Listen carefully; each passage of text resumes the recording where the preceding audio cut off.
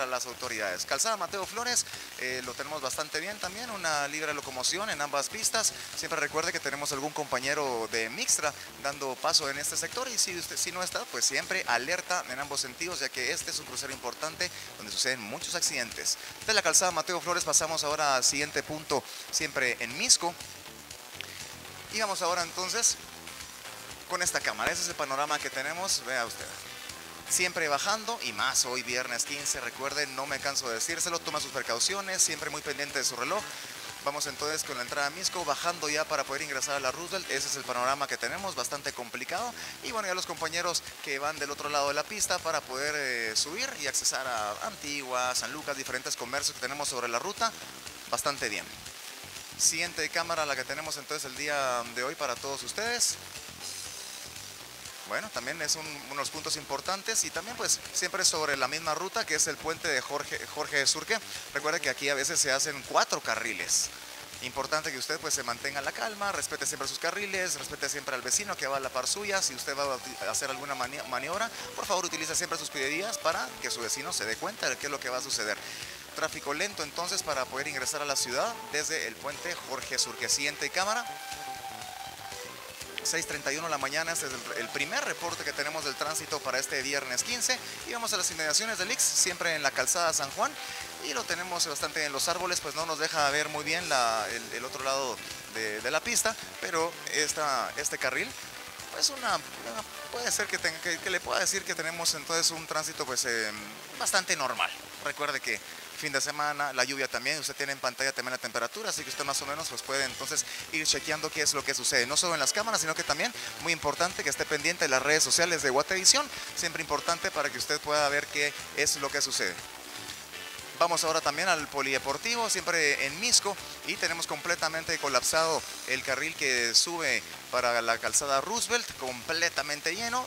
Y bueno, ya los eh, vehículos que van para, para San Lucas también bastante normal. Esta es la tendencia que tenemos en el tránsito del día de hoy. Recuerde, viernes 15. Y aparte de eso, pues me gustaría ponerles en pantalla información muy importante para que usted la tome en cuenta. Desde ahora, desde ahora que son las 6.32 de la mañana hasta el final. Recuerde, estamos con entonces con un movimiento operativo de Teletón. También tenemos un desfile de la Policía Nacional Civil en el Estadio Mateo Flores. Si usted es vecino del sector, por favor, pues siempre tener mucho cuidado y para tomar también pues eh, alternas.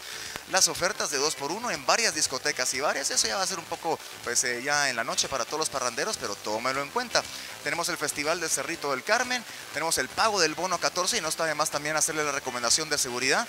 Aparte, pues tenemos un posible paro de buses en ruta 7, 40, 63 y San Pedro Ayampuca. Así que si usted todavía no ha salido de, su casa y utiliza el transporte público, por favor tenga cuidado, se lo recuerdo, posible paro de buses en ruta 7, 40, 63 y San Pedro Ayampuc.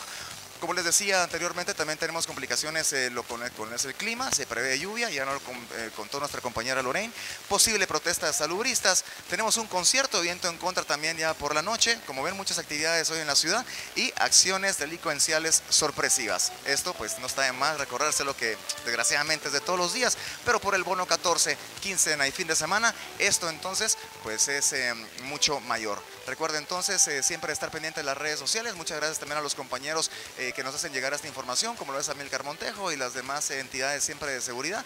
Y dato importante, solo así para que usted lo sepa, hoy, viernes 15 de julio de 2016, un millón cuarenta mil vehículos circulando. Eso es el aproximado, ¿verdad? Así que tome nota, usted y yo vamos a ser parte de ese tránsito. No queda más que ponerle buena cara, subir el radio, estar muy pendiente, tener cultura vial y pasarla bien porque es fin de semana. Nosotros aquí en vivo desde Portales seguimos con más compañeras.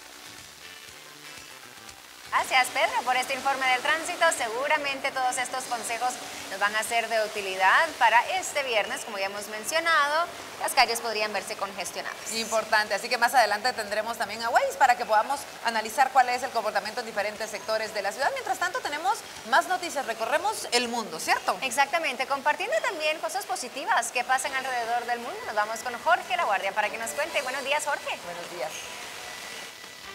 Muy buenos días, es así, muchísimas gracias compañeras. Tenemos noticias de una tónica diferente para ponerle una dosis positiva y esos ejemplos en la vida a seguir. Y es que el pediatra Sergio Gallegos se disfraza de superhéroe para atender a sus pacientes con cáncer en Guadalajara al oeste de México. Con ello logra que haya una mejor conexión entre el paciente y crea confianza para poder dar un mejor tratamiento médico. José Manuel. Así me gustan de mi tamaño para que no digan que abuso. Él es Sergio Gallegos, un pediatra que se disfraza de superhéroe para atender a sus pacientes con cáncer en Guadalajara, al oeste de México. Y entonces grita menos. ¿Por qué gritas menos? Pues porque Capitán América no le duelen los piquetes.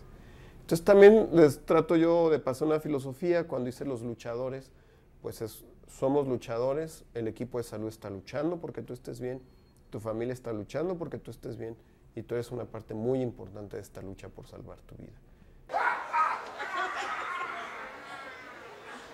Gallegos también tuvo cáncer y durante su tratamiento la visita de voluntarios disfrazados de payasos le alegraba el día. De ahí surgió la idea de disfrazarse. Algunos de sus trajes son donados a través de las redes sociales. Invitar a la gente que se dé cuenta que es muy fácil ser un héroe. Solo se trata de hacer la vida de otra persona mejor. Con sus 34 disfraces, el doctor Gallegos confía en hacer más llevadera la lucha contra el cáncer de sus pequeños pacientes.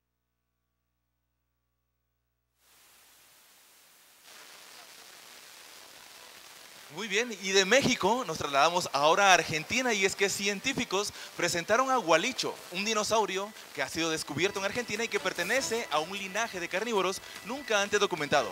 Hoy por hoy representa la sensación del momento en el ámbito de los dinosaurios y es visitado por miles de personas.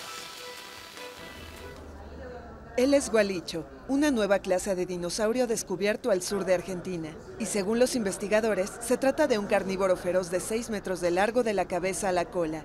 El hallazgo publicado en la revista científica Plus One tiene enorme significado mundial porque el animal tiene manos con dos dedos, algo inusual en el continente americano y que tiene un único antecedente en un dinosaurio encontrado en Níger. La época y el lugar donde estábamos trabajando, esto es un grupo de dinosaurios completamente nuevo. Esperábamos encontrar alguno como los abelisaurios, como Carnotaurus, ese que tiene los cuernos, o Giganotosaurus, los que son los más grandes, pero no, en cambio apareció algo completamente diferente, un linaje que no conocíamos y bueno, acá está, es un comienzo para poder entender un nuevo tipo de dinosaurios carnívoros. Gualicho, que significa embrujo, recibió su nombre para honrar a una diosa indígena tehuelche, dueña de los animales y el viento. Otro motivo fueron los muchos obstáculos burocráticos y accidentes que envolvieron a la investigación que tomó más de 15 años. Más noticias entonces para ustedes esta mañana. María René y Verónica, vuelvo con ustedes. Muchas gracias, Jorge, por esta información. Nos, relajan realmente estas noticias, son positivas y cosas que suceden en el mundo. Gracias, Jorge. Bueno, y a conocer entonces también lo que está pasando este día, nuestros titulares a continuación.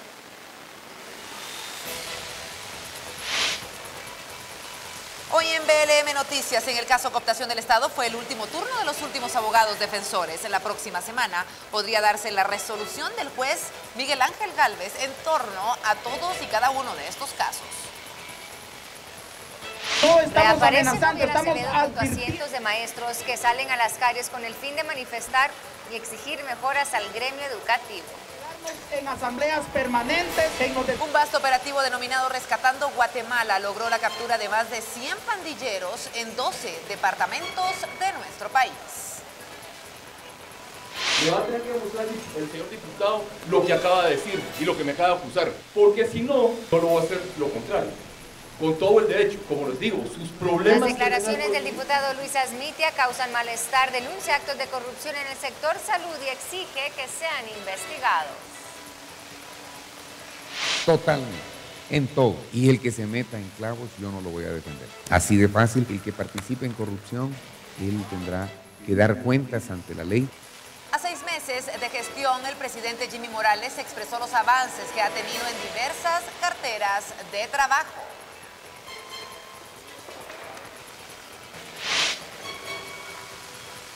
En noticias internacionales, escenas de pánico y dolor se viven luego que el conductor de un camión embiste sobre una multitud en Niza, en el sur de Francia. Esta mañana se reportan 84 personas fallecidas. Es un día de luto para Francia. De hecho, han decretado tres días de luto para las víctimas de este atentado que califican de terrorista. Y justamente hablando de lo que sucede en este país, el presidente francés condena los actos terroristas y asegura que toda la nación se encuentra bajo la amenaza islamista. Y también tenemos otra información que estar compartiendo con ustedes esta mañana. Tiene que ver con los deportes y el inicio del torneo de apertura 2016. Este domingo arranca con mucha energía. En noticias del deporte internacional hablamos de Manny Pacquiao y cómo él vuelve a los cuadriláteros. ¿De qué estamos hablando? Bueno, le comentamos todos los detalles en tan solo minutos aquí en BLM Noticias.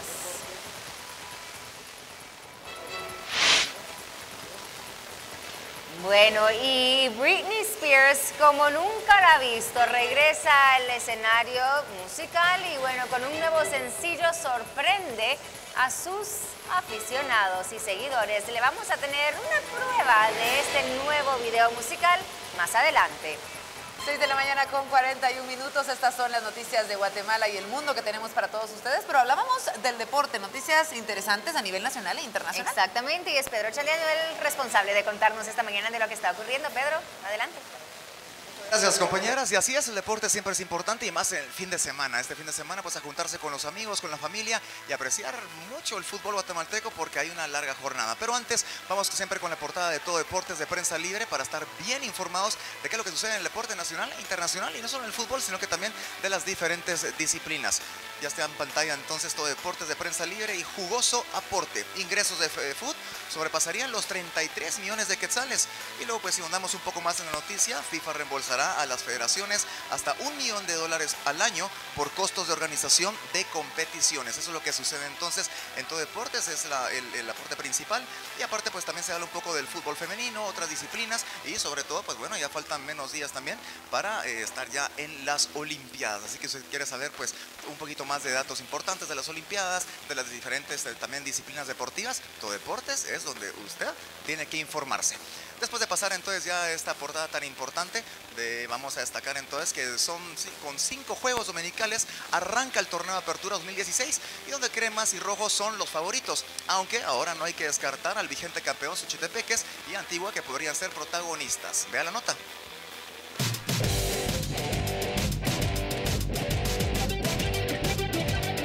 Campeón Suchitepeques y Marquense será uno de los dos juegos con los cuales arranca el torneo de apertura 2016 a partir de las 11 de la mañana este domingo en el estadio Carlos Salazar Hijo. El cuadro venado es el favorito ante Marquense. En contraste, está solvente económicamente, situación que no sucede con el